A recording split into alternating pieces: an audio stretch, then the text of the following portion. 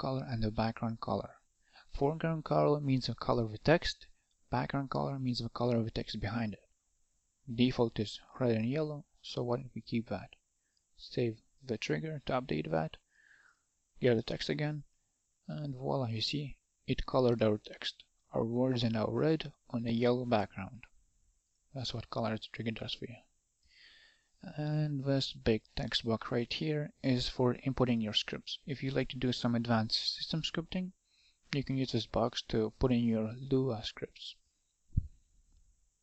Next, let's go over to aliases and create a simple alias. For testing purposes, how about make the two-letter combination SS send hello to the MUD.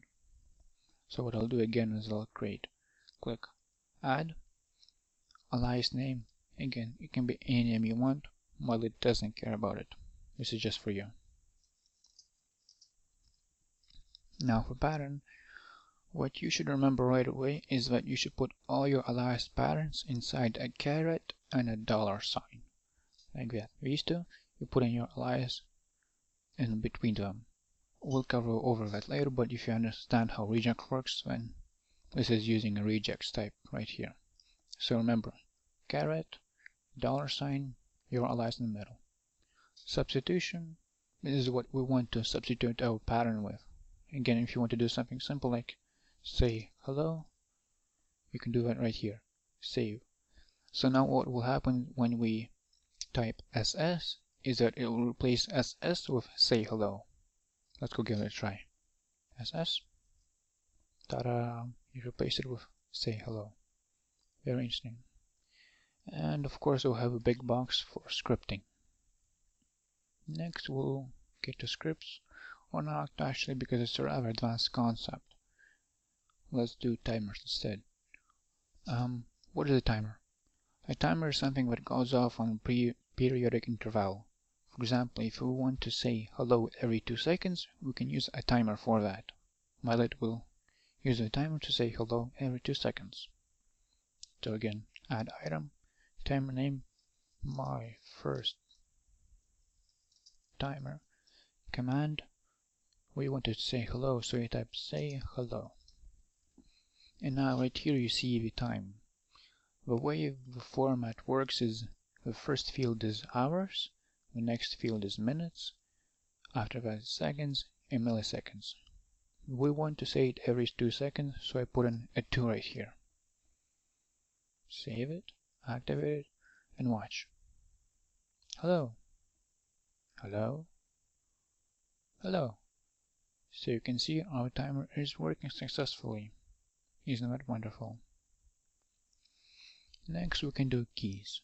These are your key bindings, your macros, however you want to call it. Basically means that when you press a button on your keyboard, it'll do something.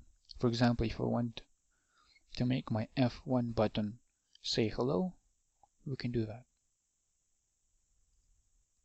Name my first key binding.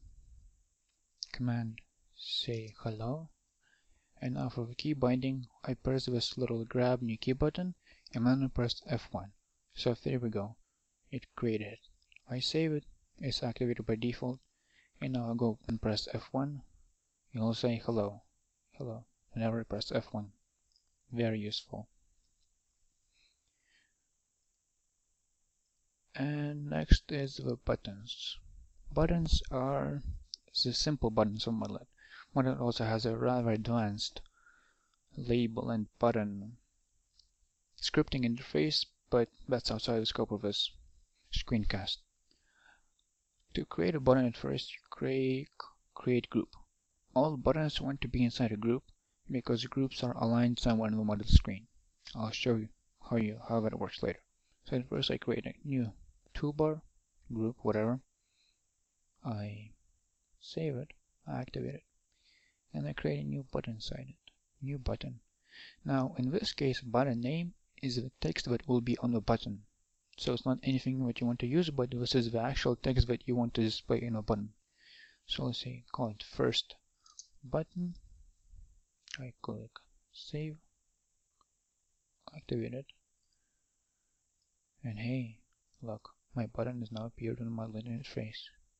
just like magic. It doesn't do anything right now because I didn't give it any commands. See commands and button down if I want just to say hello.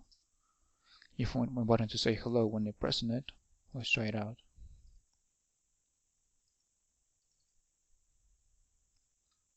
Yeah, there you go. It's working.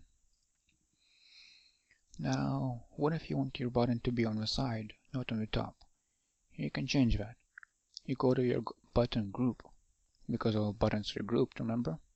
And you can select dock area left instead of dock area top. Save it, and hey look, my button is down on my left. Quite nice. Now, what if I want to create a new button? How will that look? Second button click activate and hey my second button now appears. Ta-da. Now if you like the buttons to be side by side you can change their orientation. Change the button toolbar to be horizontal save it and here you go. You can change back to top save. Now here are my two buttons together. Quite neat. And next is we have a search feature. Search feature obviously searches. Type search click let's for example we want to save search for a word massive that we've typed somewhere. Pretend it's on my screen right now. I don't know where it is. I click on search press enter and look display to me. One result. So to go over this type trigger. So which means that it, what it found was a trigger. Name my first what? My first trigger.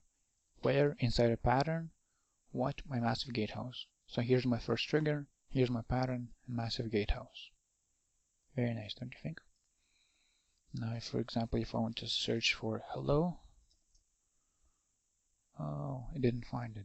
It doesn't search substitutions yet, but it's right. I'll do that later. And of course, I have a delete item. Delete something for me. Import and export buttons are, it can be used for backups. They will either import your whole profile or export one completely. And if you want to use, you can also save your profile somewhere on your system. My profile on my desktop, it'll get saved. There it is right here actually. So that's about it for the first Milo screencast.